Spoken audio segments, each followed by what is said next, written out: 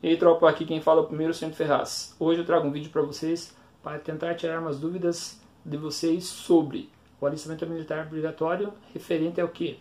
Não me alistei, e agora? O que eu devo fazer? Ou me alistei, mas não dei continuidade nas próximas etapas do alistamento militar, que seria a seleção geral. E agora, o que eu faço? Como que eu faço para resolver esse BO? Então fica comigo que eu vou tirar suas dúvidas agora.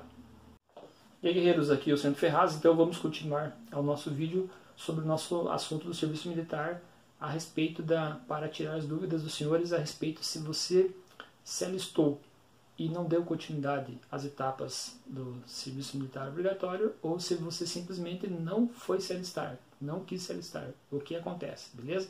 Mas antes de tirar essa dúvida, eu peço para a galera que está chegando agora, que está acompanhando nosso canal, está vendo nosso vídeo agora, que dê aquela curtida e se inscreva no nosso canal, para fortalecer nosso canal, para que a gente possa chegar com esse vídeo para a maioria dos jovens, para tirar essa dúvida, porque a dúvida deles pode ser a, a sua, ou a sua pode ser a deles, beleza?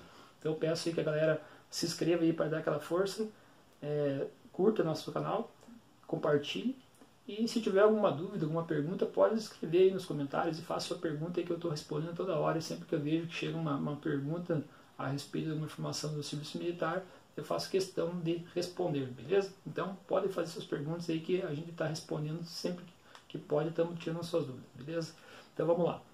A primeira situação, o que acontece se você não se alistar? Se você não se alistar, você sabe que tem aquelas penalidades lá que você vai estar em débito com o serviço militar obrigatório e você não vai conseguir fazer é, concurso público, você não vai conseguir fazer passaporte, na sua faculdade você não vai conseguir fazer a matrícula porque eles pedem o seu certificado de reservista ou, ou de liberação da, do serviço militar, o CDI, certificado reservista ou licenciamento do serviço militar obrigatório, né, só dispensa. Então eles pedem para quando você vai fazer sua inscrição da faculdade e mais algumas dores de cabeça que vocês terão aí por não servir e não fazer o alistamento militar, beleza?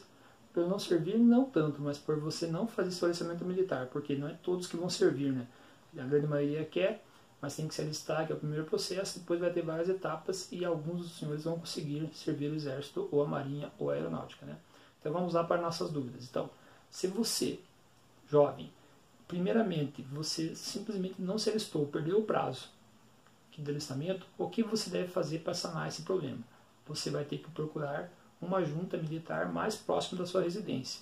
Se você não sabe, você acessa a internet e ali você consegue uh, procurar pela sua cidade alguma junta militar que vai aparecer endereço, telefone e, e daí você vai procura essa junta militar nos dias que ela esteja funcionando.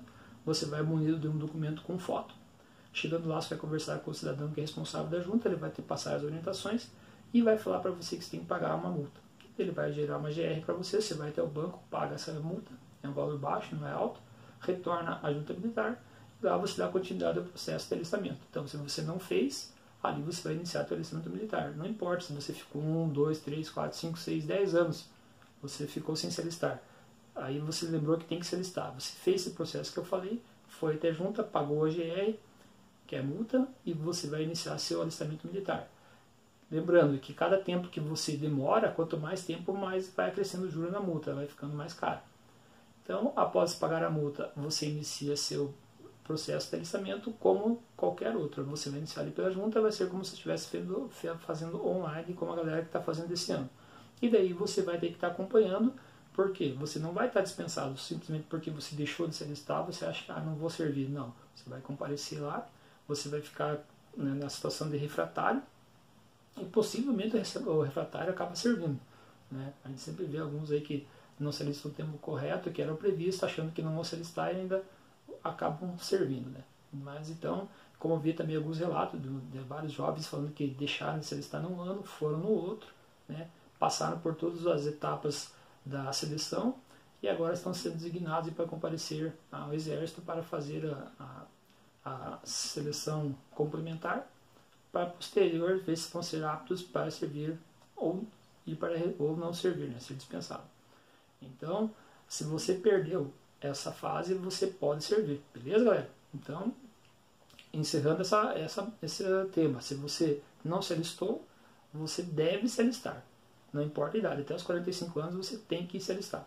Foi se alistou, pagou a multa, vai fazer alistamento e vai seguir as etapas e provavelmente no ano posterior, se você passar em todas as etapas, irá servir ou será dispensado, mas vai ter que passar todas as etapas que todos os jovens passam todo ano, beleza?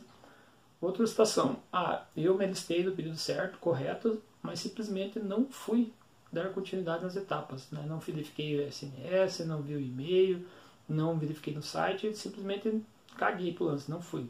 Não fui para as próximas etapas do serviço, para dar continuidade ao serviço militar obrigatório.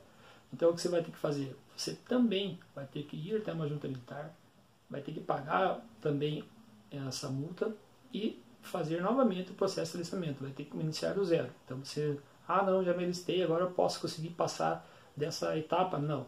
Você vai ter que retornar à junta militar, vai pagar essa multa e vai fazer novamente o seu processo de alistamento. Beleza? Vai continuar novamente todas as etapas para ver se você vai ser dispensado ou se você vai servir o exército, ou a marinha, ou a aeronáutica. Beleza, galera?